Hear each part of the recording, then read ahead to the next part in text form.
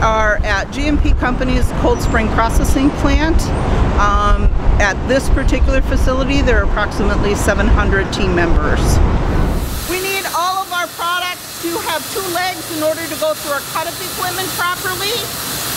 And um, sometimes the leg will have to be removed due to a defect.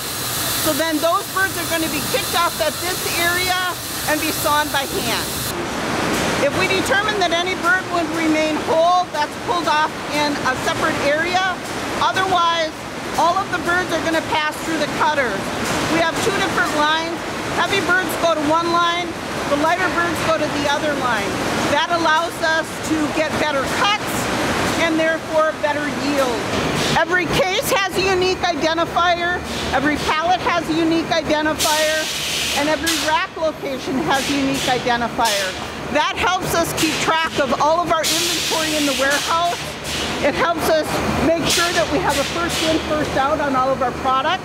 So at this point, um, the probes go into the bag, they vacuum out the air in the bag, shoot in a burst of CO2, and then it seals the bag.